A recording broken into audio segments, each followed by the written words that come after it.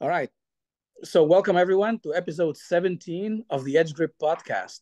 And with us today is world champion and an extremely accomplished racer and human being, Miguel Duhamel. Miguel, thank you for being with us today. Great to be Thank here. You. Thanks for having me. Can, can you believe we're getting those type of guests? Uh, we are honored and humbled and uh, very, very lucky. Yeah. Especially being nobody in the racing world. What are you talking about? Nobody. You're you're a 202 in uh, Fontana, right? That's that's like record record pace. Yeah, two minutes twenty. Yeah. that doesn't exist anymore. And and Miguel actually lives ten minutes away from me, um, so that's why we're doing it over the internet and not at my house. Yeah, could have drove, I guess, but uh, we're uh, using the, you know, all the internet power. The internet. Vegas actually has it convenient. Vegas has better internet than than LA. That, that's yeah, why. I'm sure there'll be a part two of this. Then maybe I can go to your house and do it there. Okay. next next to my Bimota. Perfect. That that, uh, that bike, every time you say Bimota, I always think of Anthony Gobert when they, they hired him to race that thing and he won in the rain. And that's that's what my head goes to, of course, you know, being a racer. you know, I oh, haven't ridden it. I haven't ridden it yet. It's been in my garage for two weeks and I'm waiting for a DMV appointment. And DMV appointments, as you probably know, are like a month away. So there's still two yeah. weeks to like go there and register it. But you know, yeah. that's that's the well, government. The same thing happened with my NSX. I drove it up from Florida and it didn't have kilometers on it, so I had to go to DMV and and it turned into such a problem. I left my car parked for 10 years. Like I just drove it around the garage, started once in a while. So it's got low mileage. And when I went to sell it on um, Bring a Trailer, a lot of people like, this is suspicious. There's no way 97 cars got this low miles on it. You know, that. I'm like, well, you don't know a racer because I was almost never there, and when I was, I just started it. And it's long story short. Anyway, I sold it, and uh, that was fun. I sold my two cars. I sold my Zanardi, and I sold my uh, regular NSX. I was going to keep it, but uh, I got a nice uh, Mercedes SUV, and I love that. And running out of space, you know. yeah. So I had to do what the did. That was, that was good. Great cars. Yeah, the NSX is a collector car now. It probably doesn't oh, yeah. help that uh, uh, registration in in Nevada is like 600 700 bucks a year. A lot of people don't know it. They think that that's the state doesn't have any state income tax in it, and mm-hmm. it doesn't. But they get they get you on everything you do here. Yeah, and that's why you see Montana place in Las Vegas, you know, and stuff like that. You're like, hmm, that's a long sure. drive. Whatever. I really want to register it. Uh, yeah. So, yeah, so yeah, you uh, other taxes. First of all, thank you, thank you for joining. And you you started racing at the age of nine, motocross. Yeah. Yep. Uh, and you had you had a formidable father that that's also a Hall of Famer. Yeah. And Absolutely. was it ever an option, or did, did you get like a motorcycle in your crib as as you know you were lying there at the age of three, and there was a motorcycle you were hugging instead of yeah. teddy bear? basically that's about it. My dad loved racing and he, he treated us all to a motorcycle very young. My brother had it when he was, I think, two and a half, three, and I got mine when I was three and a half. Rode around. There's many pictures of me on the bike. And I think he almost invented the training wheels. He went to the local Canadian Tire in Canada, which is like an Home Depot, and got little wheels and bolted on the bikes to make sure I'm when we first started and with the throttle and and he tied a rope to the bike. So when you know he would run behind us and tell us what to do. Not like you see a lot on on Instagram and YouTube, people like, hey, get on the bike, good luck. You know, and they run up into a tree or something. So um, yeah, we started with that, and then I remember like it was yesterday. We are driving up to our uh, chalet, and there was a race going on, but you know, close to the highway. And until then, we I just raced my sister and my brother, and we had tons of fun doing that. Then we're like, we can race with all those other people. So that's how it kind of started at a very young age. And my mom and dad just said, okay, we'll do a race. And I showed up on a Kawasaki 100. It was, I think we took the lights off of it. It was, you know, not a motocross bike. My dad only put one shock because I weighed like 60 pounds and I couldn't even compress that. And uh, I don't remember. It was, it was funny. We just showed up and tried it, and that's I spent too much time and money on it. My mom was praying that we would not like it, but unfortunately, uh, we, we my brother did really well and I really liked it. I, I probably came in last or close to it, but I, I loved it. We had the film of that moment, occasion, momentous occasion, and uh, it was fun. And from there, you know, here I am many years later, and it all worked out. It's uh when I look at racing and making money, motorcycle racing, I'm like, I should have picked a career being easier to make money and like maybe yodeling or something.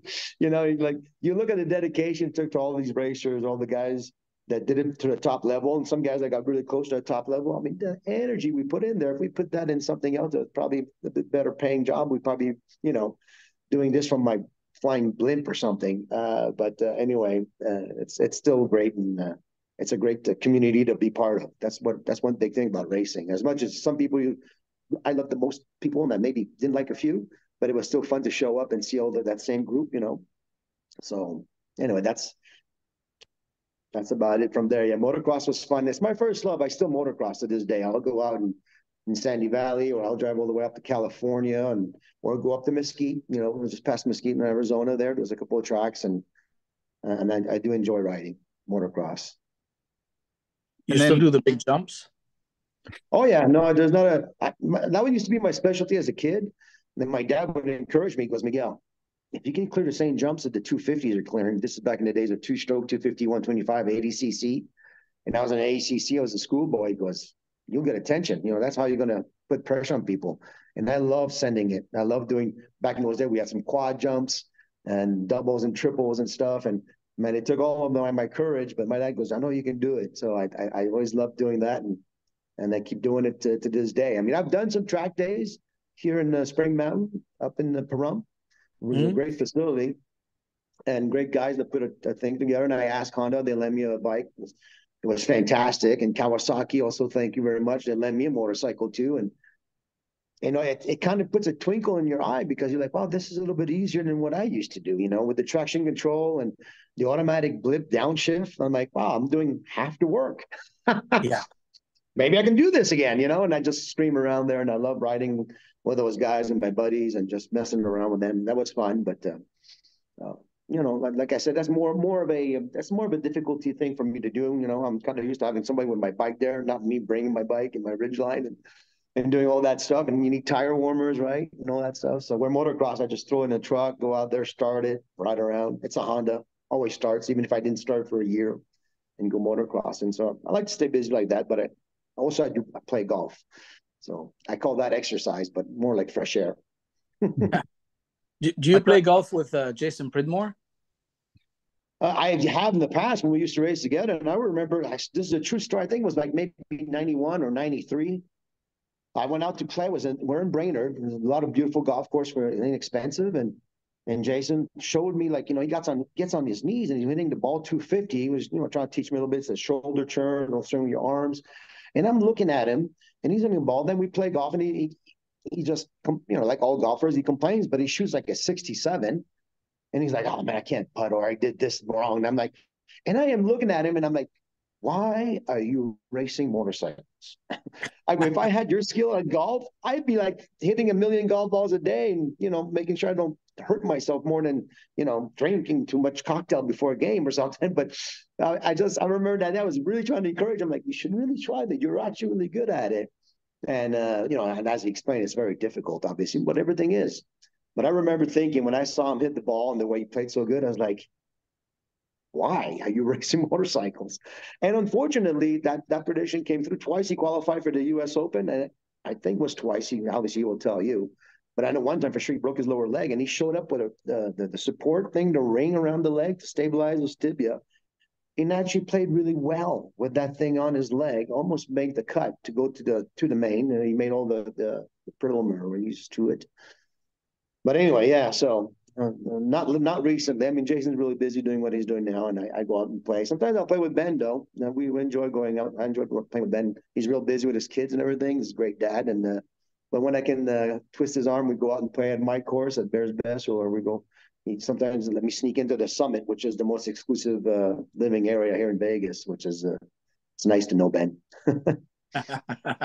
well, Jason speaks very fondly with you with great respect because I've often taken his uh, courses and and we're good friends and he used you as a as an example, but you can feel the respect in his voice when he talks about your racing. And sometimes he'll he'll say, "Well, Miguel used to do this and and teach students how to better ride," but there was always this intonation in his voice where there was always like a role model in terms of racing.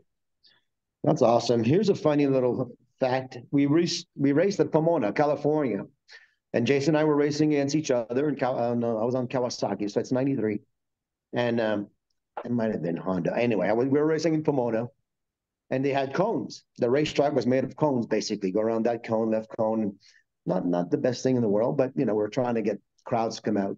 Anyway, we're racing in the race, and I clipped the cone with my knee, and the cone goes flying behind me. And we're like, you know, 600 racing. There's like seven of us racing for first place. Well, guess what? It flew off my knee into Jason's front wheel and crashed him. And after the race, I saw that he crashed, and I didn't know I hit the cone that hit him. And I was like, of all the guys, we were we were pretty good buddies back then. I'm like, of all the seven guys behind me, my golf partner got freaking taken out by a cone that I accidentally hit with my knee. So, but he didn't hold it against me. He knew it was an accident. Funny, I think. uh, it's like a Mar- Marquez episode. He somehow keeps doing that to other racers. No, yeah, no, Mark is a little bit different, but uh, that's something something different. He's a great talent. I mean, this guy's and he's got iron iron guts too. You know, obviously we kind of all out need that to to go through the things that we go through, and uh, definitely be interesting. I'm, I think everybody else. I can't wait for next season when he's uh, rides around with that Ducati. Isn't it funny though? Not that long ago, at least for me, you know, we're talking 20, 30 years, so I guess it is. I mean, you, you wouldn't even dream of Ducati and GP being competitive and KTM. You know, it's like, are you kidding me? You know, I remember when McGrath tried to ride their motocross bike and they were like, ooh, this is not going to work. And and look where we are today, 223. And if you're not under Ducati or a KTM, you basically don't have a chance. The mighty Honda and Kawasaki, uh, Honda and Yamaha, thank God are still in there. I'd love to see Kawasaki back in there and and Suzuki, but uh, isn't it crazy that we we did that 180 on on uh, on racing, and never I would have thought that the Honda or Yamaha would be uh, pining to uh, to compete against those guys. But it makes them great racing, that's for sure. When you were when you were doing GP, it was uh they, they also had the Cagivas over there that were pretty yep. pretty good, right? Yeah, they had well, they had one of the best rider on them. I mean, they had. I mean, they. I think Eddie was one. They had Randy on it and did a lot of development. I think they had Kenny Roberts to do some development, like secretly, and but by the time Eddie Lawson got on it, he, he pushed it forward and obviously won in Budapest. I was there. It was a rain, half rain, half dry track, and he, he called it perfect and uh, and smoked all of us. And uh, the one thing that was really surprising for me when I went to GP in '92 is how friendly everybody were. Um, Kevin Schwantz, Wayne Rainey, and Eddie Lawson, and I mean very approachable. Could just talk. I thought it would be like you know a bit of a elitist, a Heisman, you know, stay away from me kind of thing. But uh, they were, hey man, how you doing? And you know, we're just chit chatting. And uh, I got you know almost goosebumps. Like, wow, you know, this these are the guys that you aspire to to get to and beat and try to win. And they were just, hey man, and I, I love that. That really uh, that was really nice. Wayne Gardner was the same. We, we were at, in the in Assen when he got hurt pretty bad. He had a big crash and his wife kept giving him beers and aspirin. And he looked at me goes, I think she's trying to kill me. but it, was just hilarious, you know. And he gave me a tip because I think you need to be a bit more aggressive. I go, well, my bike is so bad, I have trouble feeling the bike. And the next race, we went to Sao Paulo, Brazil, and I stuffed him and passed him. He must have been like, well, he took my advice to really, you know, to heart. And it was one that was my best race of the year. And the thing I like about Sao Paulo and Brazil is nobody knew the track. So um, we all started the same spot and I was able to get a top five. And my deal with Yamaha France was a two-year deal. Obviously, I, we didn't look to fine print; it was optional second year. Because my point to that story is, I wouldn't have let Wayne go. Uh, at Japan, I was I wasn't for a podium. I was running. I started dead last. And the only reason I qualified is because it rain one was dry the other ones. So I was 36 out of 38 riders on the last row, and in like four laps, I was fighting for the lead with Mick Doohan and John Kocinski and Wayne Gardner when he, he just fell in front of me and Wayne Rainey and and I was just flying around those guys. And I that was my first race in GP, and I was thinking like, we're gonna win this thing. And I was really comfortable, and I was riding, and I was well within. You know, it's not like I was pulling rabbits out of you know where. And when I fell after Dunlop curve at Little Degner, to this day, I'm still mad about it because I don't know what happened. I actually leaned the bike in, and as I was picking it up, I, I the front end just locked up. I don't know if the brakes dragged or something. And John was kind of blocking me because I was trying to get by John to go get Nick and, and Doug Chandler to make sure I get a podium. So when that happened, you see me walking up, and I'm like, "What the hell was that? Why did you know?" But anyway, that was a great year, and I want to roll into this is also that that's the only track I knew, Suzuka. Then they go to France, they go to, uh, instead of going to Castello Le Mans, they go to Magny-Cours. I'm like, what the hell's that? And then when we go somewhere else, we go like, uh, we go anywhere I track that we went where I had a, a career racing and I could do it. You know, I, I was looking like to go to Le Mans, hopefully, or, or anywhere. They, they avoided those tracks that one year. Then they now they go back to Le Mans. They're always been, I'm like, why? You know, why? Um, so anyway, so when we went to Paulo, Sao Paulo, I think I could have stayed with Wayne Gardner. I think I could have got him for fourth, but because I didn't, this bike was a bit unpredictable because the chassis was so bad, and Wayne Rainey underlined that for the whole year. He was so mad at Yamaha, and he was Marlboro, and I was, you know, the B rider and the or the C rider on the B team or whatever you want to call it. Uh, Niall was a great guy. Niall Mackenzie was my teammate. Very quiet, very nice. And um, at Sao Paulo, like I said, I think I could have stayed with Wayne and got fourth. But since it was in the podium, I said, well, let's just get a top five. That's something. And, you know, that should make sure that next year we're going to come back and get more of these and probably some wins. And the next year they said, we're not paying you. And if you want to stay, we'll only race in Europe at the tracks that we have a spare bike for you. And I'm like, well, that doesn't sound like a hell of a deal. You know, worst sales pitch ever. So uh, I came back to America because I was racing motorcycle to make money I'm gonna make a living. I wanted to be, uh, that's why you do it. You know, that's one of the reasons I, I did it. And and uh, you know it all worked out.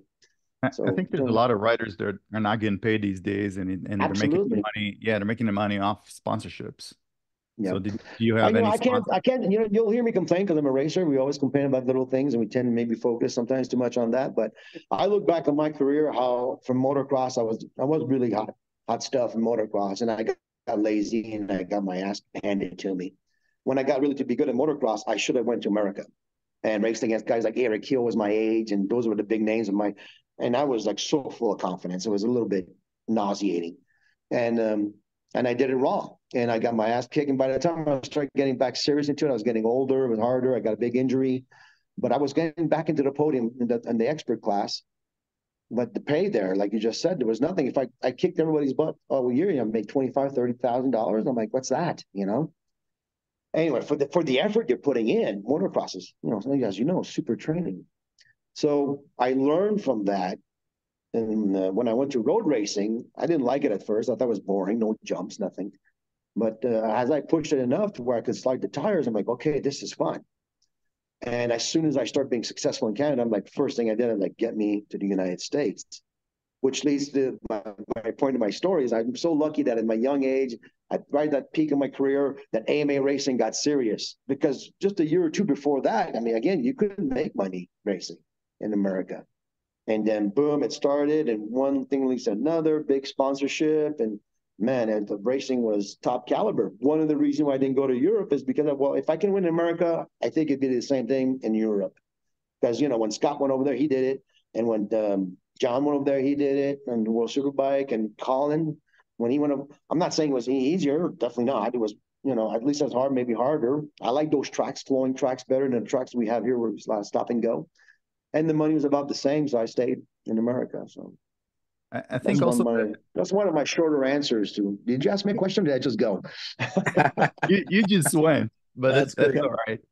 When you have a career as rich as yours, that's it flows. Yeah, I, I, think I think uh, a factor of how much you get paid as a racer is uh, your star power and how many uh, butts you can put in the seats and how many people you can have buying your merch or or products you're endorsing. Mm-hmm. And you see it you see it with Formula One where it's um, it's less of the driving capa- capabilities and more of the personality and how people can relate to you uh, and how big of a star you make yourself. So did, did you ever try to do that? Did you ever try to uh, be a, a, a, more, I don't know, flamboyant personality, uh, stand out, uh, make, you know, make more fans? No, no, I never did. I, that's just the way I was. That's how I'm wired. To this day, I go play golf, and people want to adopt me because I'm making them laugh for 18 holes of golf, and and strangers, you know, and my buddies that that know me. I mean, that gets to be a lot, but still, they they, they still invite me to play. And uh, no, I was brought up by my, you know, my my parents. Obviously, my mom and dad. My dad was very humble. I mean, here's a guy that was almost too humble. Nobody will ever match what my dad did, and it's not because it's my father. If I if I be one side to seven, and not be you know, talk about somebody else that did what he did. I mean, that's just unbelievable. So snowmobile racing and everything, and he was my dad, so he got abused. Sometimes I look back and be like, I should have been more respectful of what he accomplished, but it's your dad, you know. Just, right. but anyway, um, no, my dad was like that. You know, he was very personal with everybody. Loved to have fun and talk, and and I always had time for fans. So yeah, no, I had no problem with that. That's just something I rolled into, and I love doing it. I mean, why am I here? You know, people are. I I I would get away with some negativity. Who wants that in anybody's life? But it was so much fun talking to everybody, and and, and my, my my only I don't regret might be a big word, but I wish I as much as I was accessible with my fans and everything. I wish I would have been more. You know, sometimes a little bit too focused on staying cool before race and hydrating and making sure I got everything right. Did I tell them about the brake fading? Oh, Only I can remember that. The adjuster's loose. And you go through everything. And so you're kind of doing that because there's a few times where I was signing autographs, especially when I first came on scene in 91. In 1990 and 91, I would sign autograph till the race would start. McCann would almost be like, You're going to miss the start, you know?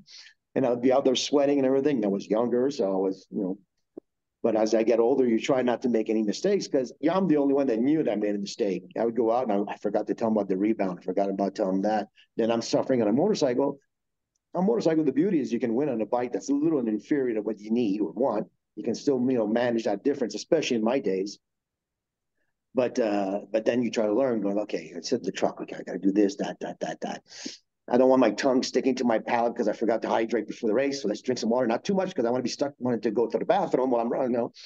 And that's funny. You can see all us racers. We always ask for bathrooms so we could go right before. And anyway, no, I just uh, in today's world, I mean, I I'd like to. That might be dangerous because today, like you said, with social media and everything, and they're more into you. I think they would like me, but there's something I'm sure they wouldn't like. But it's I, I always felt that was a gift to have the, the fans show up as they did, and I was able to make that money is because of them. If there was nobody there, then I could still do it, but with less money.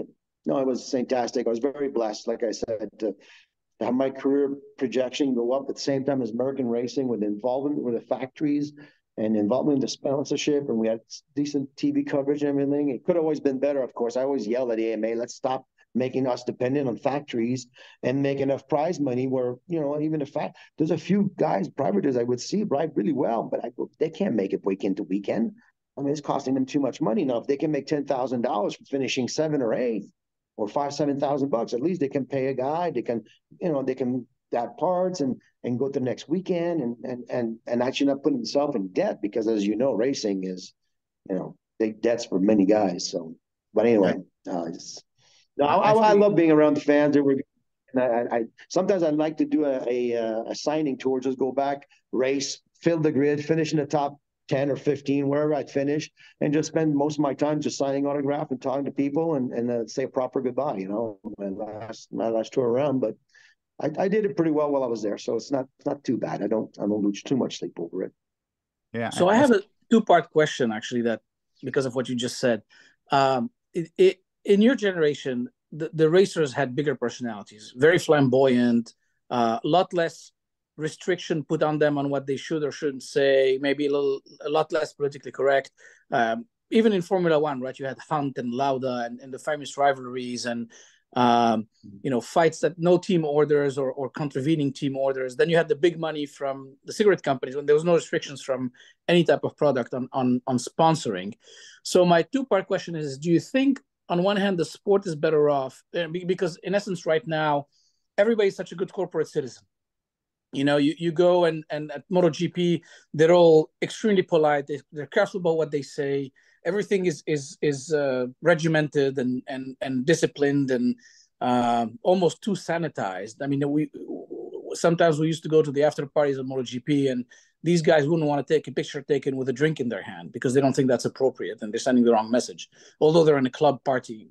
Um, and then at the same time the sponsorship changed. So in your mind, Miguel, do you think that um, the appeal of the motorcycle and racing in general, but motorcycle racing in particular, is smaller or bigger because of this change in in how kind of interesting i guess the, the the racing is outside of the actual racing but with the personalities. And then is it easier or harder today to get sponsorships? Um, because there's a lot of personal sponsors and team sponsor but but you have less companies that can participate. Like cigarette companies can do it alcohol companies can do it and so on. So is is political correctness helping or hurting our sport? Well that's a good question. You know, I think behaving in the right way, though, is very important for kids. I mean, there's kids watching us. They're growing up. They're on mini bikes. Mini bikes uh, boom, you know, and it's great to see little guys with the helmet bigger than their whole body riding those motorcycles and and motocross and then road race. So there, there, there there's got to be a balance of that. I think it's, I, I, I it's almost anything in, in small amounts is good. You know, you can always do it right.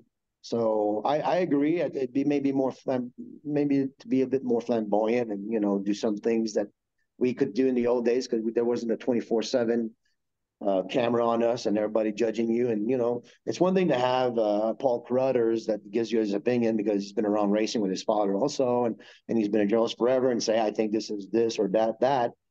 And you're facing one guy, but it's another thing to have like a, a comment list of you know twenty thousand people like you know just throwing whatever they think that you did wrong, and being affected by that. So I think some of the people the reaction like, well, if I do nothing, then then they can't comment on it, and it's it makes my life easier because we do have a life beside racing, and you know we do have we're emotional people. I mean that's so it's it's it's a, it's a complicated thing, but um, I, I I think it's up to the rider and what you can get away with. I mean, our, our job is always to push it in racing and then also maybe push it when you can do interviews. Some people don't have that personality. I mean, I did a WWF Randy Macho Man style, uh, you know, interview with Larry Myers about Eric Bostrom. I was going to put him out, and but that was good. That was that was entertaining, and the guys need to do that. I think I, if I would be part of that group, because I'm a bit out of that circus right now, but if I be in, I'm going, hey man, you can be funny, you can do this, you know, no, no, no. And if you do something, well, you can always say sorry. I mean, I, okay, I, that was misinterpreted. I meant to be funny, just trying to roll on top of it, you know, and be. Um, I probably would get in trouble on every day on a regular basis, but um, it's it's it's something that you know they got to maneuver around, unfortunately. And you know, you brought up the cigarette thing, and that just annoyed me to no end because they have you you know endless money, Marlboro, uh, Rothmans, and Lucky Strike, and they stop it because well, it's bad influence for kids or whatever. Well, I'm a kid. I grew up in that business of racing, watching Marlboro, Yamaha, Rotman, watching all those guys racing and stuff. I don't smoke. Right. Patrick Carpentier, which is a very, very one of the best racers in car IndyCar when IndyCar was there. He, he was Player's and he goes, you know what? I never once thought I wanted to smoke. I always thought I want to race, you know. And the reason I'm complaining about it is like like you just said. I mean, if that flow of money could be back in there, um, it'd be so much better for our sport. You know, it would help us be we have much better racing, Formula One, and everything. I mean, they're not struggling; we're still doing it, but it'd be so much easier. And I think it was a bit of a lie. You know, I think people smoke because they're stressed and they're, they're you know they're, they're freaking out about it. But um, I don't like I said for me. I look at Aaron Yates, I look at Anthony Gobert, I look at all the guys I raised, Ben Bostrom, none of us smoked. And we all grew up in that generation of the 70s, late 70s, 80s, uh, and so on and so forth, where that was what we were looking at. And you look at all the racers, and I mean, a few smoked, Michael Barnes, but he smoked before they. Mike was a lot older than me. Mike was a great guy, you know, and, but but you know the, the list of race. I mean, even back in those days, Aldana and, and guys like that that race, they would smoke. They would race, and they were maybe not sponsored but they were just smokers. Smoking was much more relevant. You could smoke in the plane back in those days, kids. And, right. Um, uh, I remember. Yeah, you know. Yeah, and but still, for me, I wanted to be a racer. So, uh, uh sometimes that, that goes back to what you said, political correctness and this and that. I mean, I don't know. Even the Pepsi money. Even the Pepsi oh, money yeah. is gone, right? Pepsi used to sponsor. Yeah, but they didn't even have the, the the link to stay in there. You know, that's the thing that happened in France when he was Gauloises. Gauloises is a French cigarette company, and they said, "Well, we'll tell you Banco. Banco is uh, like Canada. They have they own the lottery. So they made up the, the, the money they were losing because they banned cigarettes. Because they said, well, McDonald's going to jump in and Microsoft and everything, which I don't know why they don't, especially a company like Microsoft or Apple, which have tons of money. And now bikes are so electronically based that, you know, you think that'd be something to be, but unfortunately it doesn't. I mean, the only people that like to play in that is uh, beers and cigarettes, you know. And unfortunately, we don't have funny. access to that money. It's funny how regular cigarettes going away and then they made uh, weed legal so yeah, it's I like well, where, where's your logic? Here and, and well, I What's cycle all the time here, and there's cars that go by me, and you can smell it. It almost knocks you over on the bicycle. And I'm like, okay, I'm not allowed to have a beer in my car, which I understand that you know, nobody should be driving drunk ever. But I'm I'm pretty sure that guy is having a good time, and I'm hoping it's the passenger, but it could be the driver. And I hope he doesn't fall asleep and you know hit me like Larry Pegram got hit by a, a motorist not too long ago. I don't know if you heard about that he got clipped while cycling. So luckily he's okay, but he, he got banged up a bit. So isn't he like a big? But yeah, no, it's funny. Isn't it weird? Isn't he like a big weed grower? He has he has his own. Uh... Actually, he is. it's funny that we've run into that. Well, like if you say, if you do your things at home and everything, well, you're supposed to, and you're doing a controlled place, that's okay. But my my problem with it is first of all, it stinks more than a cigarette. And if anybody smokes in my neighborhood, I'm like, who the hell's doing that? You know because it, it annoys me. My dad always had this really simple explanation about cigarettes, and it applies to pot. He goes, When I drink my beer, I don't spit it back in you. You don't get to smell it. You don't get to taste it. I don't get to spray on you. When you take a puff of cigarette, if you could hold it in, you're good with me, you know, and then I can, but you blow it back out in my face and it's all over the place.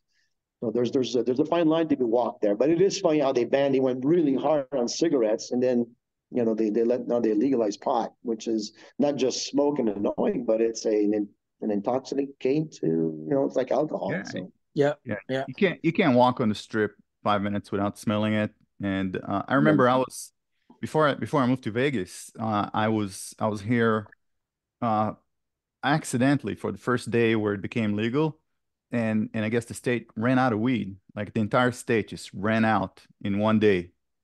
Everybody bought it. Yeah. yeah. Well, I'll it's tell funny, you. You know, there's, there's another thing, another lesson for the kids out there, and I'm I'm, I'm going to get in trouble for all these things sooner or later. But anyway, I mean, here's the here's the when pot was illegal, uh, all the, the, the crime people were making tons of money, tons of money. The government takes it over, and they can't have trouble making money with it. They legalize it, and just showing how the government is not that efficient. Because I remember when you were here, like you said, and when they started legalizing it to help our schools, and we're going to use that extra money to do this and that and I'm like, oh, I don't see school. No, I don't see anybody going, yay, man, these are good. You know, that it's, uh, sheesh, I don't know, but it's, uh, it is what it is. Yeah, right. they use the money to exercise more control, but not to fix the infrastructure. That's I mean, they have to rush and pave the when when COVID was around. I went cycling. I loved it because there was nobody on the streets and anything. I went. I was cycling. I did a couple of hundred mile rides, but bigger loops than usual. And I go on the strip, and I was riding on the strip, and I almost got flats because the strip was all messed up. And this is, you know, obviously it didn't happen because I was riding my bicycle. It was messed up before COVID started. And I'm like, how can one of the most rich, famous street be this bad? And you saw they had to like pave it till almost the last day for Formula One.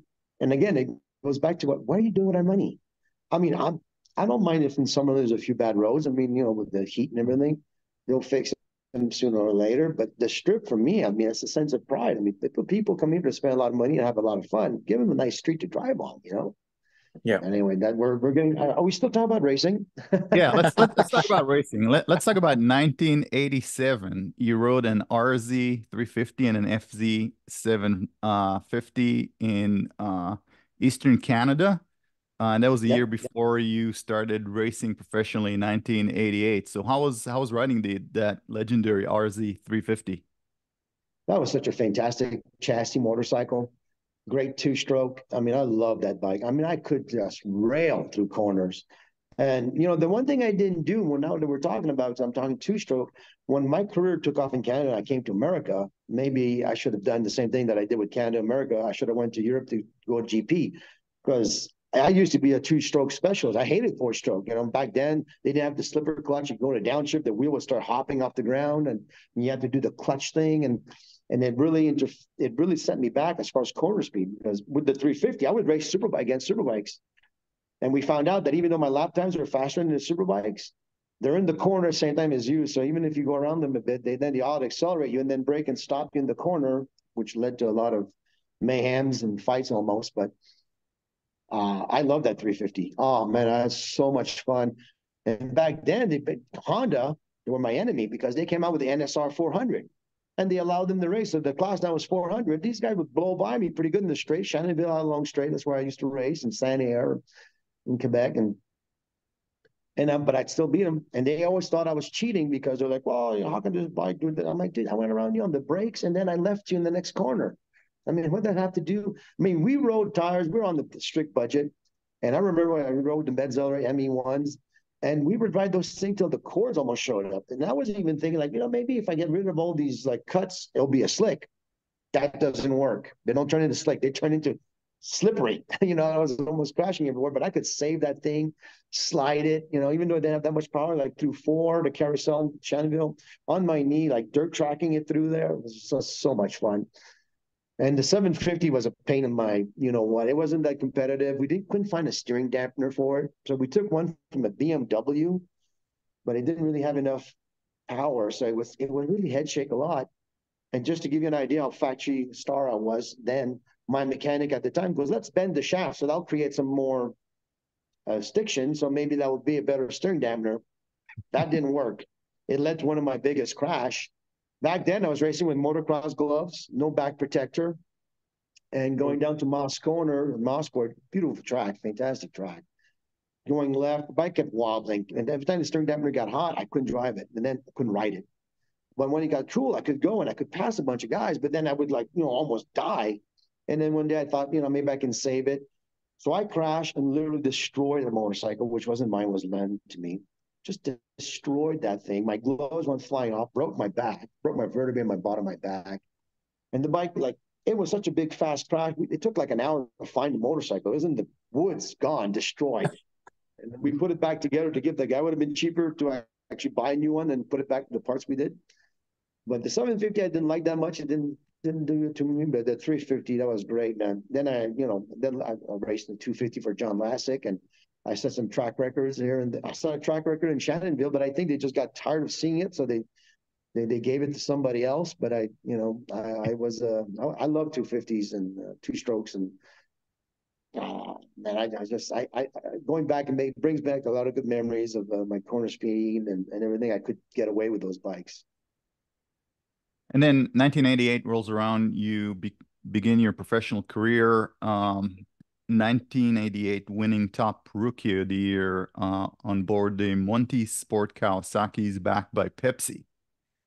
Yeah. How, wow. how did that we, how did that Pepsi Kawasaki deal work? Well, and Pepsi, we know this guy was trying to help me, he was a friend of ours, and we had this big bottle of Pepsi and everything. And the only thing we got was like free all the Pepsi we can drink, you know. So uh, we didn't really get any. I think we got a thousand bucks, and which was appreciated, but didn't didn't pay for the season. You know, pay for a weekend, and we hauled the big bottle around. It was just a.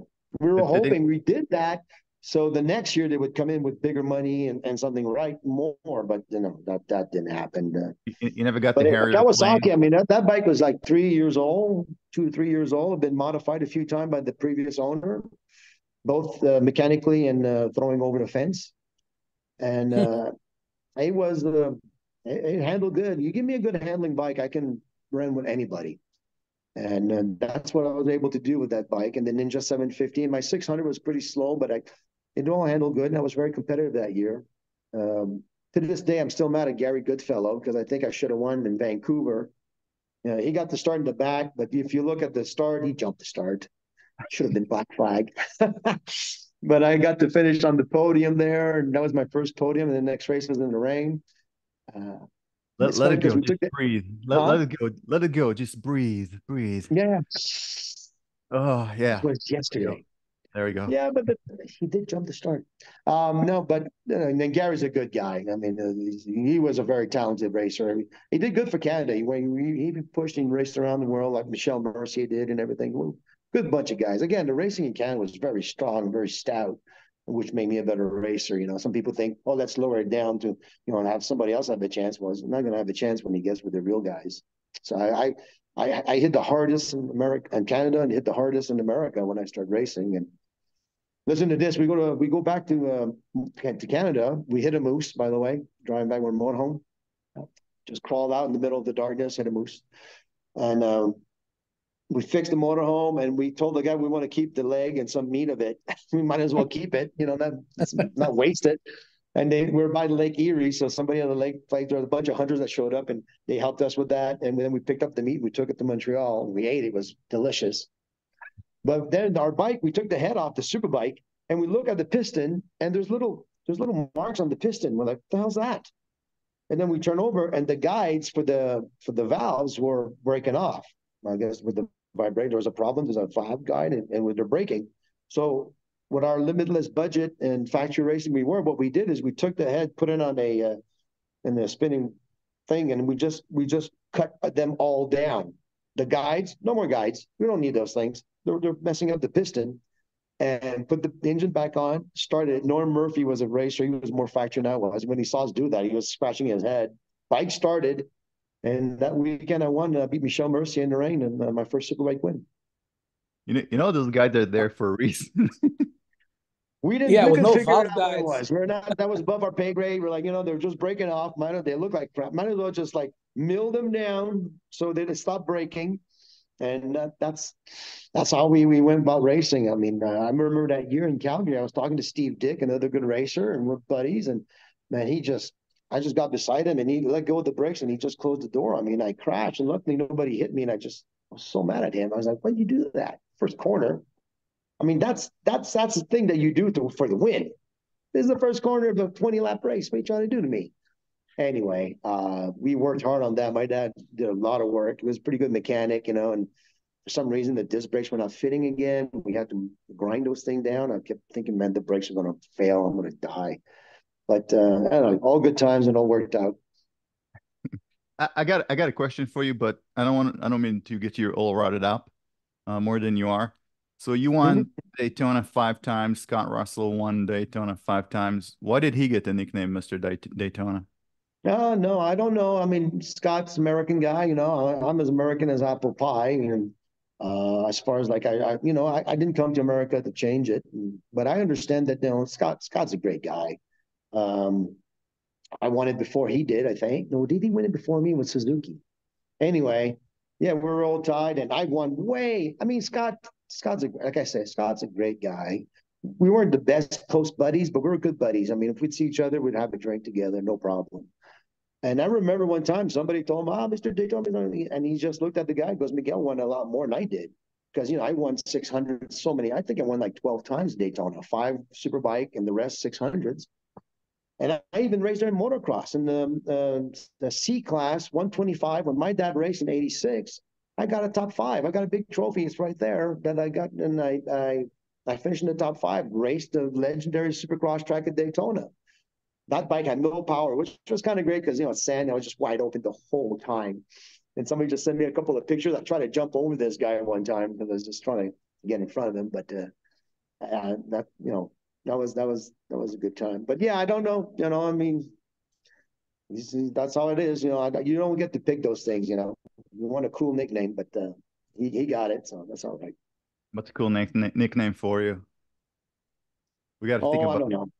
I'm pretty think... modest. You can call me legend or uh, okay. you know something like that. Something. I mean, God's pushing a little bit because blasphemy, but you know something something around those those low you know low levels would be nice.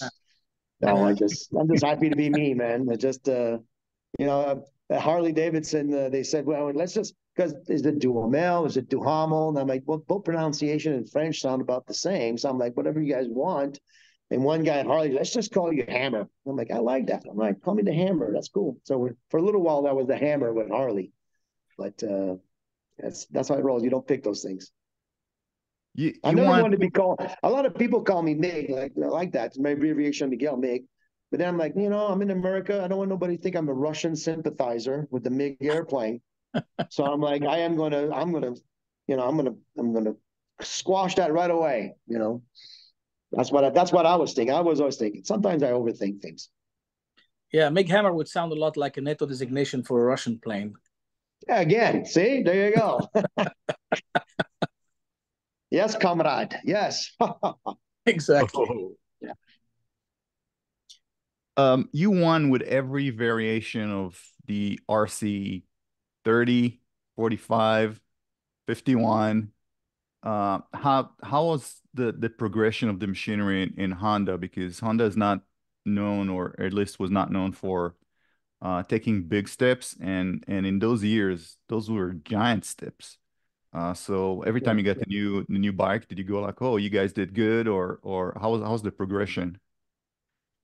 No, it's a good question. You know, I mean, uh, there's a lot of there's a lot in there. I'm going to try to keep it more brief. So, but um, I'm not going to succeed. But I just want you to know I'm trying. Um, but when I went from Harley Davidson in '94 to '95, went to Honda, which was very, very good for me because it was a bidding war to get my services. Same thing in '94, at Harley won. In '95, Honda won. And Kevin Magee was developing the RC45. Well, yeah, that was the RC45 then. And I went first time I rode was in Daytona, and that bike tried to kill me. I mean, I came in, I went out and I did like five laps, and I came in and the, I remember my Honda team, they're all like, "How great is this bike?" And I'm like, "Not really." I go, "This is horrible," and they're laughing. I'm like, "No, no, I know I like make jokes, but so I, I would like, I remember like it was today, and, and it kind of led to me not getting a job with with uh, Merlyn Plumlee, which is really sad. I really want to work with Merlyn. My girlfriend's going to work.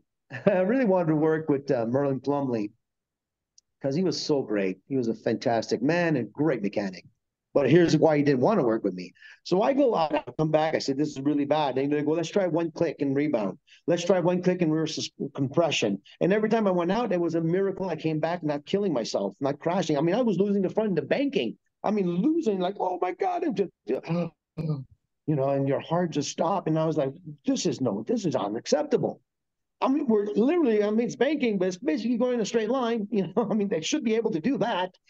So after three times of coming in and trying to explain to my mechanic that we need a service, like I don't need a click and they're freaking, freaking blah blah blah. I need a new front end. I mean, we're talking maybe even a chassis. This thing is horrible. What are you not understanding? So, you know, I start stalking like that with my eyes and I'm like, you gotta do this. I'm not gonna write this thing. It's the death machine. So they, oh, oh, oh, and Merlyn heard that. And it threw him off. He didn't like a rider talking after his mechanic. But like I told him, we, you know, I've, I've known Merlyn forever. May he rest in peace now. But I used to say, you know, I did that to to shock them to to do something because they almost were like, let's change the sticker. You think the sticker would be nicer? You'd like the sticker on the the fairing? You think that's going to help? And I was like, no, no. Take this thing, put it in the crusher, tell Japan to send us a new one. You know. Uh, but uh, from there, you know, it was a hard struggle. I mean, I'm telling you, the bike was horrible. And then we we made it work, obviously, and won everything that year. Um, and what really spiked me that year was me, my, my teammate, Mike Hill. All, all my teammates were great. Mike was a great teammate, and he was a great racer. And we're racing, and he's having more success than I am. I have a couple of bad luck. I hit Jimmy James rear fender, my front brake at Pomona, crash, and when I try to pick up the bike, I rip up the air ducts. Anyway, I just so my first few races were not that good with that bike. Crashed at Daytona, and um, but 600 I was doing pretty good, and me and Mike were fighting it out, you know, smoking Joes. And then the Laguna Seca was the turning point for me. I, I, I do a good race in superbike, and in the 600 race, me and Mike were going at it. I mean, just we're gone. We're the you know we're, we left everybody. And I'm going last corner, going 11. I'm like coming out of 10. I'm like, I'm setting him up a bit. I go, if he makes it kind of easy, if he, gets lazy on the brake, I'm going to pass him. But if not, he's my teammate and I like him. I mean, if he wasn't my teammate, was Kawasaki, somebody else, I probably ran it in there. I'm like, well, you know, tough break, kid. You know, see you later. But I'm like, it's Mike. I go, if he wins and I, I finish second, one, two. I mean, we, we got the first two step at the podium. Next race, I'll win and he'll get second. So he, uh, you know, I, I, I go to throw it in there and I said, well, if I do, I might pump it off the track and I don't want to do that. So so I step behind, he wins, I get second. I run celebrate. I come in pit lane. My entire team and this team are celebrating like he just won the world championship, or just like like an Armageddon, like got rid of the meter, was destroyed the planet. And I'm holding my bike, going like, can somebody put a stand on this thing? I mean, what the did he just win the world championship? This is like the third race in the season, or fourth race. And I'm being like, like stiff arm Heisman again, like go away. I don't know which way it is. And um, finally, to put the stand on my bike, I get out the bike, and now I am fuming. I mean, I am just like, I can't believe that's just not right. We're a team. Why am I being this? And this is the only time I think my dad shows up in the team bus. As I'm getting undressed, and he goes there to console me. He goes, Miguel, you had a good race, and uh, you did good, kid. You know, just keep it up. And he was always very positive, my dad. And I just went, "F this. That's never happening again." And then I just blurred out and with more explicit what I just told you guys. And I went, "No, not winning again. That's it." You know, and I was just like fuming, veins popping. And my dad went, "Okay, all right, good meeting." And he walks out. And from that on, I won six in a row in Superbike, and I won 13 in a row in the 600. So the moral of the story is don't get me mad. And, uh, uh, you know, but, and uh, again, Mike had a great career and he was a great teammate and uh, we had fun, but that, that really lit the fire underneath me. And, and went through the development, of the RC45. The best RC45 was 1998 and 1999. Uh, the development there was terrific. I used to use springs that would, the, the Japanese say, you can't use these springs, they're too hard. I'm like, I'm using them and they wouldn't believe it because but I set it up so I could brake super deep. That's why I was competitive in the World Superbike. Me and John Kocinski would go at it. I sure wished we had the same tire rule that we have today back then, but we didn't. He had Michelin, I had Dunlop. But we, we, you know, we, we did some some really good work with that. And unfortunately, the problem with Honda is after they get bored after four or five years, like, okay, let's do something else. I'm like, no, this is perfect. I can win with this every day, you know but uh, it was the way it was. And on the side note, with John Kocinski, when I was in the World Superbike, I was leading the race. I passed him. I wanted to lead, lead at least five or ten laps, which when, when my tires started going down, and I knew he was going to walk away from me. Um, I went through turn six, after turn five and turn six, up under the bridge, the left hander going up to the corkscrew. And I had the line there. It's just again with my bike set up. I go in the brakes so deep, get the bike sideways sliding over there, just get back on and dirt track it all the way up the hill. Just a little bit of power drift all the way to the painting line. I pull like half a second, three tenths of a second, which is a lot in one section on John. So at the end of the race, I'm on the podium. John won. We're we're in the same truck, waving. You know, go around. You wave at the crowd. Hey, and we're going around, wave, wave, wave. John's not a big talker, not to me anyway we get to turn six, and he just looks at me, grabs me by the shoulder, goes, "You were really fast through here," and then he just starts waving again. and I just start waving, and that was one of the best compliments I've ever received. Here's a competitor that's we're not the best friends in the world, world champion. I mean, John Kocinski, everybody knows that guy, but for him to like take my attention and say, "Hey, you were so fast through her. It was impressive. And then he just started waving again. And and we never talked about it again. But for me, it stuck forever. There's there's little things like that that you got to cherish. And that that's one one more that I really like. RC45 was my favorite bike. The RC30 was good, a little too stiff on the front, hard to turn, but I did like the RC30, raised the 24 hours with it. RC45, like I said, last two years I broke my femur, bad luck, and I even won, you know, I'd only raced like four races, and I won two or three or four of them, and then I got hurt. So you can see that I'm saying is true. And uh, if I didn't get hurt, a little bad luck, I would have won a lot more. The RC51, I didn't like as much as Nicky. Nicky was great on it. Turned out that, that we didn't have the idle height enough. So I couldn't carry any corner speed. Every time I shut off, it had so much compression. And the day we discovered that, I went like from being almost a second down to being as fast as anybody and then start winning with it. The idle. Yes, people. Huh. No brakes, no special jet, no special tires, anything like that just turned the idle up. So when I shut off and the transition, the bike would roll a little bit better. Boom, start winning with that bike. It was, it was a solid bike, but it wasn't my favorite.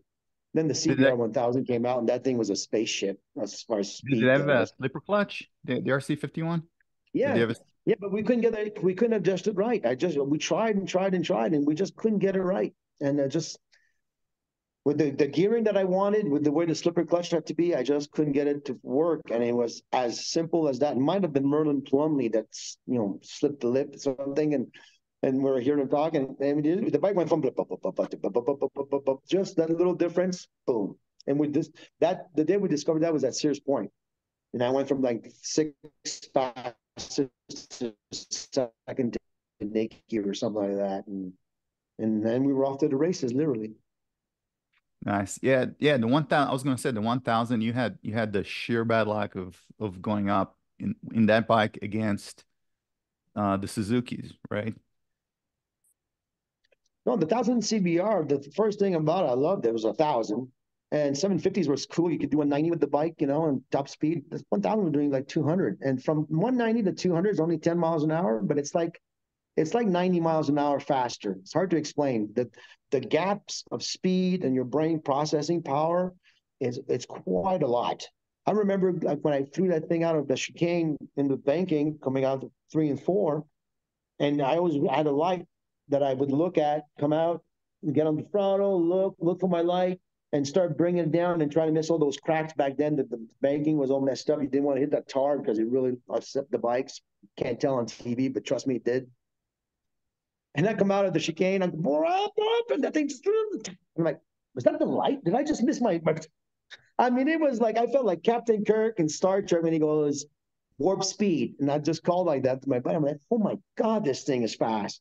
And we had great success with that bike. It was pretty good. But then, yeah, as you touched on, the Suzuki's bike started making funny noises. Uh, and this, you know what? It, you won't hear me complain about any loss.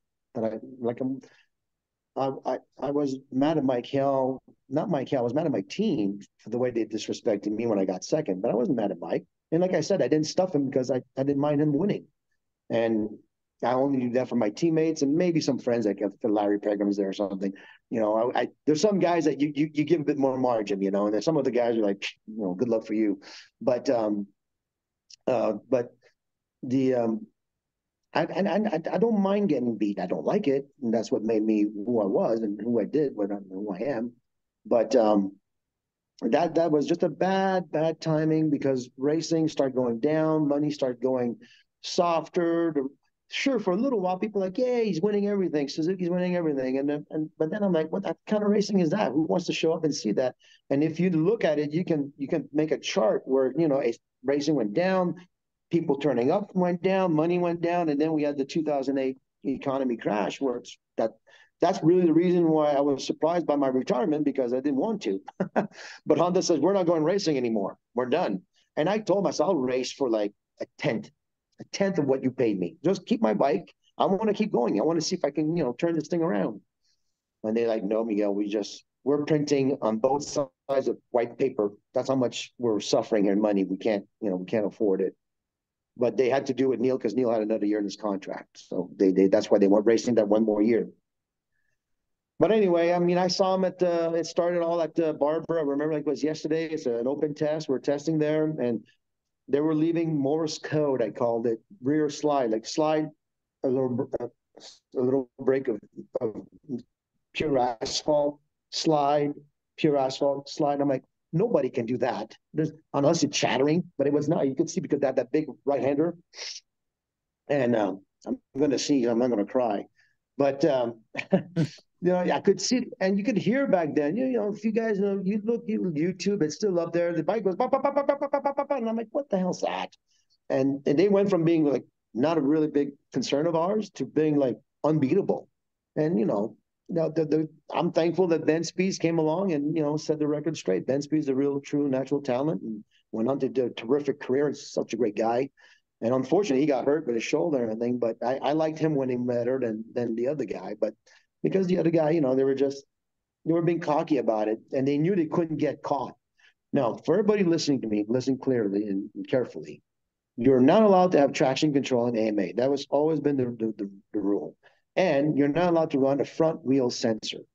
Now, why do I say that? Because AMA thought that the only way you could do traction control or power control, whatever you want to call it, is through the front wheel. The front wheel doesn't slip. So if the rear wheel is going faster than the front wheel, very simple to make traction control. So that's why they banned any sensors on the front wheel whatsoever.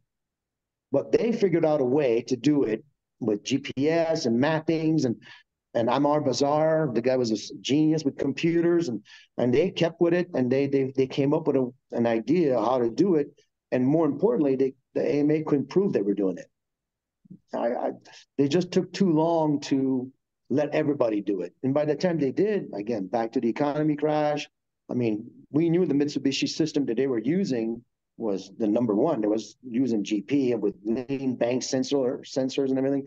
And me being with the guy that I am in racing for so long, a lot of guys came up to me and said, "This is what they're doing, Miguel. I know. I saw it. I'm, you know, I'm allowed to go over there. I looked at it, and I would tell the AMA, and they're like, "Oh, we just can't prove it. We don't know how to, you know, to do it." So, and they lost two big fights against Roger Edmondson and somebody else. They got sued. And I think they were a little gun shy to getting sued by Suzuki because Suzuki said if he can't prove it, that's slander towards our writer and my team.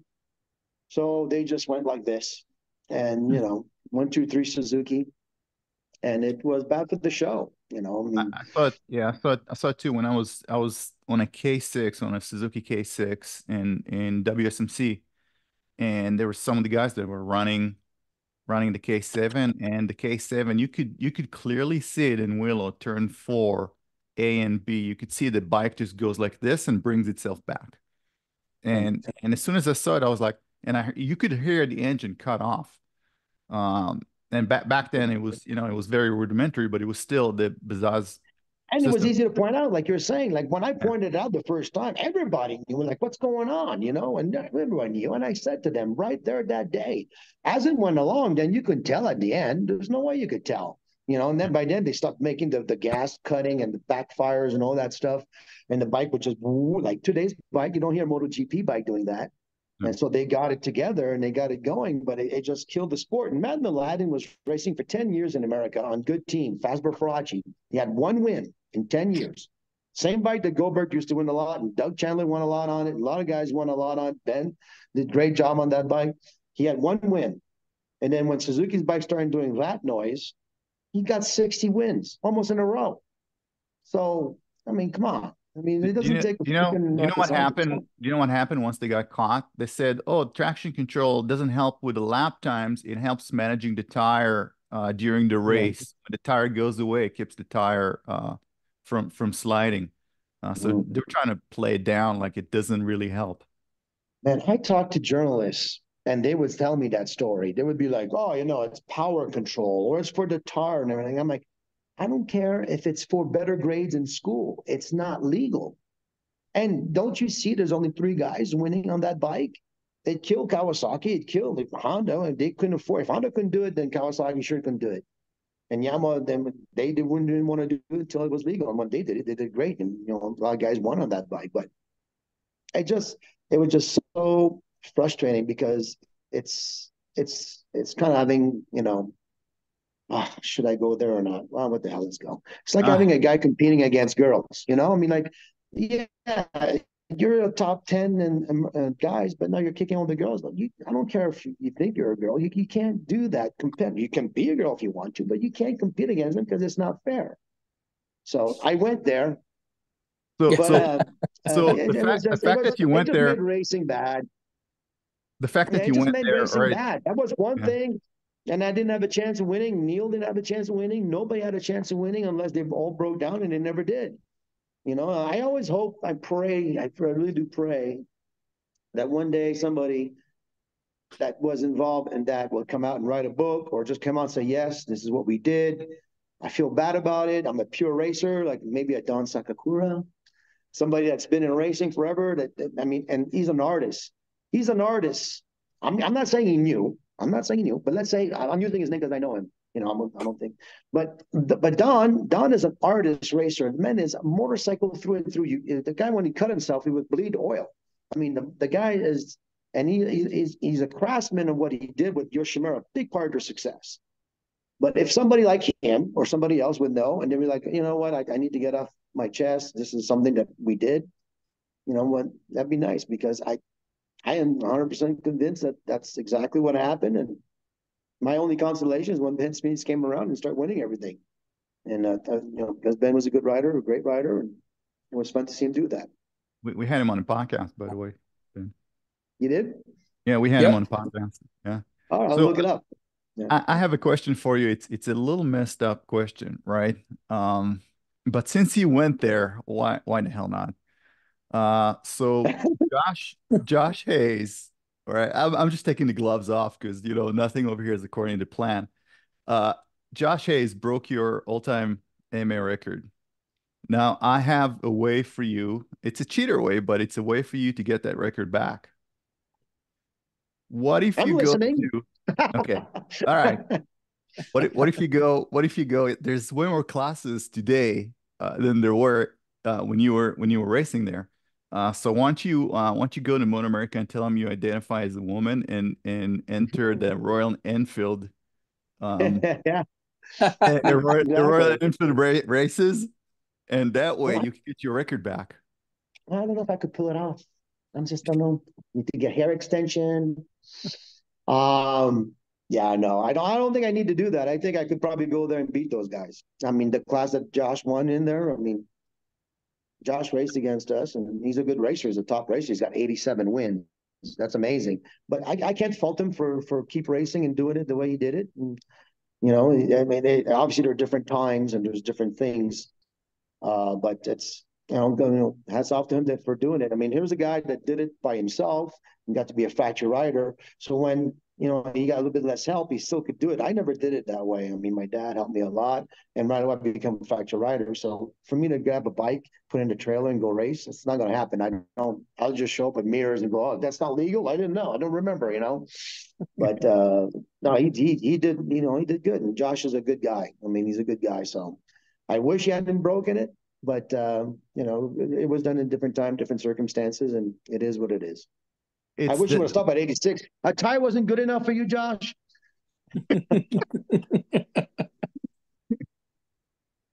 it, it's the way the way he does it too is um, he's a racer through and through and and the guy the guy's yeah. just an animal just an animal and the fact that he did it on an r6 uh, against the ducati which is basically a liter bike it's it's just mm-hmm. unbelievable mm-hmm. yeah no no he's yeah he's done a lot of racing. I mean, he's in the mid 40s, and uh, you know, like in 2008 when everything came down, maybe I should have kept going. You know, maybe do my own thing a little bit and try to, And a, in a class like that could be competitive. But you know, there's a lot of risk, and that's one thing that he did that you can't deny. I mean, he could have got really hurt. You know, you don't he did. He, he did with, older, so he did with, with yeah. his leg, right? Yeah. So you know, that's that's that's how the, as they say, that's the way the egg roll. And yeah. at, at, the end of his superbike career, I think he, he sent Mladin back home, right? Well, I remember when they made it, you know, all legal and everything, and Larry Pegram came out, and uh, he had a really good system, and Larry won, and he's got, I think, the biggest gap between superbike winners from I think the one time in Willow Springs to that time, and and Larry won, and uh, yeah, once people got the right, it made it easier. Like I said, when I go out with the new bikes, I know it's only a track day and all that stuff, but man, it it is it's it really hard to understand. It's, ten, I'd say almost ten percent, a little bit easier than it used to be with the you know the bikes that we ran. Um, it's just that the power is the same, but it delivers it so much better. I mean, I remember my knuckles know, I didn't want to get dislocated when the bike would just hook up so hard. You know, you it's kind of hard to tell the mechanic I, I want less traction, you know, but um, the uh, it, it, it, it helps quite a bit. And it's not sour grapes because I rode the Kawasaki, was great bike. And I rode the Honda, they lent me the bike, and I went out there and I did a bunch of laps. I mean, it's not perfect, you know, some of the little things, you know, the, the computers, but that's just a street bike. And uh, it made track days a lot of fun. I really enjoyed it. And then whenever, like I said, when everybody got it, then it reset the whole thing. You know, Matt wasn't dominating anymore. I mean, Larry could win. Josh won. A lot of guys. And then then he just went, did the usual, oh, I'm done. He just left. I remember one thing that was pretty funny about him. He, uh, you know, because I was, you know, doing really well, superbike and 600, winning both classes and and all that stuff. So one year he showed up with a Suzuki 600. He goes, I'm signing up, signed up and everything. And he goes out and he barely cracked, cracked uh, he barely made the top 10. I was looking barely made the top 10. And then he parked the bike and he goes, Oh, I'm too big. I'm too big. You know, I can too tall, I'm too big. This is uh doesn't doesn't work. Well, here comes Mr. Ben Spies. He's I think he's taller. Gets on the bike, kicks my ass. Actually, you know, goes out there. We race. We we dice, and I won. He won, but he was like on fire. And then I'm going, hey, what about that guy? You know, and that's why I was happy that Ben showed up and start winning. And you know, to me, a person that's deserving winning at least is uh, well, that sounded weird, but I mean, Ben, I thought was a, a, a true master of the craft for motorcycle racing. So uh, that was fun for him. Yeah. And he could win on the 600 too, yeah. which to my detriment, but still, he, he was a good racer. Him and I mean, you look at guys I raced in 600. I raced against Doug Chandler, Scott Russell, Anthony Gobert, Ben Spies, Ben Bostrom, Eric Bostrom, Aaron Yates. I know I'm going to forget guys, but I mean, some of the top crop of the guys. I mean, be, oh, you, you won a lot in 600. I'm like, yeah, against those guys. You know, it's like I was riding, you know, some sort of local race weekend, and and people were trying to sell those bikes, and they were racing in there, and everywhere, yeah. Everywhere you went, you raced against you raced against uh, some of the best racers in history, and you beat them. which makes you one of the best racers in history. Yeah. Well, you look at looking seriously, just take two seconds and look at the entry grid in 1991 was my first Daytona win. I mean, the world champion was there. I can't remember his name. It was Bell something. Carl Fogarty was there. I mean, that's back in the days when the top European with the money would come over and try to win. And guys that did the Alemán, they would show up and stuff. And then our guys were there. Everybody would show up, you know. And and that year, I mean, if I didn't have a, uh, if they didn't throw out like five pace cars, I probably would almost, I would have won by almost a minute. Every time I got the 25, 30 second lead, they threw out a pace car. And like anybody else, I'd look around going, okay, what's going on? Did the plane land accidentally in Daytona? Or, I mean, sometimes there might have been a crash there. I'm like, okay. But then after that, there was like, come on, man. We had such a big lead. I don't know if you remember, maybe you don't, but my pipe broke and it was making a lot of noise and we were afraid we were going to get disqualified for having the bike too loud. So we made an extra pit stop, changed the pipe, which is kind of hard to do, a little hot. And the boys put a new pipe on and went out, and I still won by a bunch of seconds, you know. So that that year I was on fire in the bike. We had a good setup and working with Ray Plumb too, another magician that's been around racing for entire life, and I mean having Al, of course, my mechanic, and but Ray back then was involved into the racing, and that was that was really something that was. Uh, was a, an detriment to uh, to the team. So it was fun. So we had we had some good and we had some good racing. How did that 2012 deal come about? I mean, electric. Well, let me tell you the whole story about the electric bike. Um, first of all, I'm motocrossing up in Milestone, and there's this really tight corner, and it's a big triple, and then another tight corner. Nobody's doing it. I'm doing it because you know I love motocross, I love riding, and all my buddy and I, I do this word for word. I go, hey guys, watch this. I go out and I got one leg that's shorter than the other. And I, I had a motocross boot where I put a lift on, was a little too big, but I was you know, making width. So I jump, jump, jump, turn, I come on the tight corner and whoa, I get on the throttle. It spins up too much. I try to short shift it so I can and just jump and land on the other side, which was no biggie. I did a bunch of times. Well, I went to hit the shifter, got a neutral. Endo into the hmm. third jump, push my left leg through my pelvis, breaking in eight pieces. So go to the hospital. Doctor says you're fine. Don't cross your legs. I come to my house. There's a doctor living across the street. I show him the X-ray. He goes, "You need an operation tomorrow." And long story short, got the operation done on my leg, and I broke my wrist, cracked the bones. I had my wrist was broken, my my hip, little concussion. And the phone rings. He goes, "Hey Miguel, this is a Lightning Motorcycle. We want to go race the Le Mans, Le Mans for the World Championship you know, can do you want to do it? And I'm like, then I was doing the calculation in my mind. I'm like, right, I'm in a wheelchair right now. I haven't walked in a month because I have to let it heal. I go, oh, I should be able to do this. It's an electric bike. How hard can this be? So I said yes. and by the time when I went to sign the contract with him, I had still a little soft cast on my wrist and I was walking a little funny. And I told my I, fell mountain biking. A lot, more, you know, we life for the greater good, motorcycle racer and and like like it turned out all okay. When I went to France, there was you know the grid was sparse, but there was an electric bike there, and we were the fastest, and uh, it was fun. We run around and we won. So world champion 2012 electric motorcycle Le Mans. It was fun because I ran into all my old friends of the Suzuki, Dominique Méliand, the, the the Suzuki French guys, and a lot of guys. And one guy, when I came into pits, he's, he's like stopping me to say hi. He goes, "You're going too fast. You can't go that fast with that bike." I I got close to a 600 time around there, you know, or something like that. And I was just trying to be safe because I was still a bit hurting. And uh, but it was fun to see those guys and won the race. So I'm changing. Right, take my leather suit off in the garage. I changed all this, and the mechanic that was working on the electric bike, when I put my pants back on and everything, he goes, uh, Miguel, says, "Can I ask you about that scar? That that looked pretty fresh." And I'm like, uh-oh. But we already raced and we won. So I'm like, well, here's what happened. and so I told I came clean. I told him that at the victory dinner.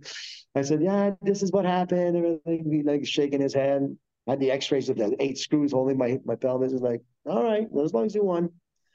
So that's pretty funny. So what's your wildest memory of your racing days? Hmm.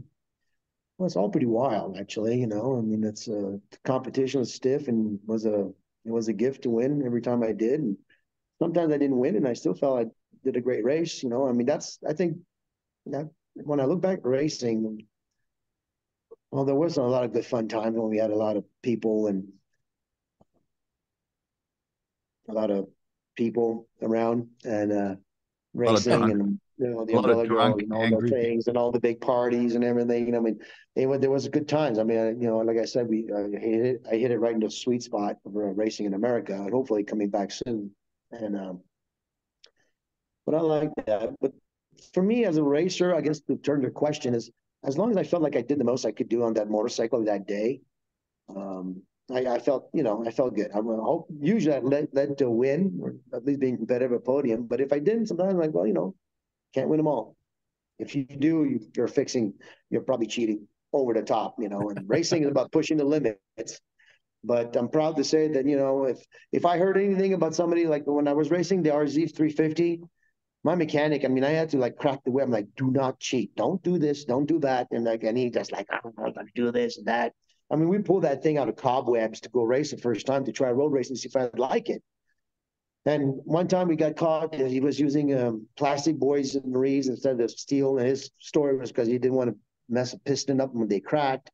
And one time he used illegal fuel, and I wanted to kill him. I'm like, "What are you doing? We're winning. We didn't use this, and I won, and now you're using it because you want to win more. I mean, that he was just a tinker.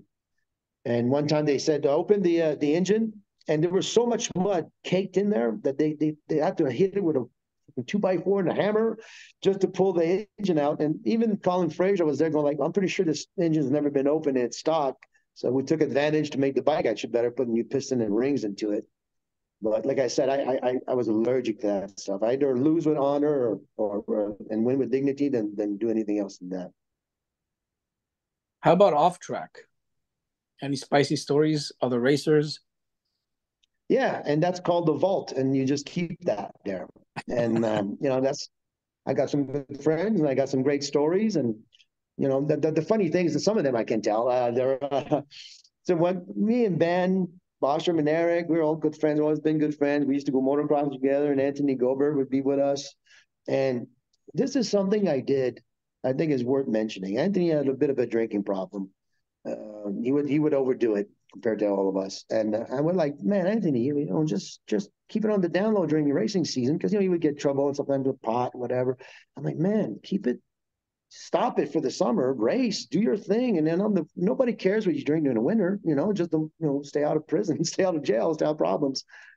And I always try to help him. And you got to understand when I was trying to help Anthony and holding him by the neck and laughing with him and everything, I'm like, man, I might be shooting myself in the foot if this guy, you know, if this guy, what he's doing is slowing him down, well, then I'm never going to beat this guy again because he was a hell of a racer. He was hard to beat. And you know, we had great races. But I thought as a human being, it was more important for me to try to save a human being than than save my winning position. You know, like I'll figure a way to, to beat him somehow, you know, push harder, do something.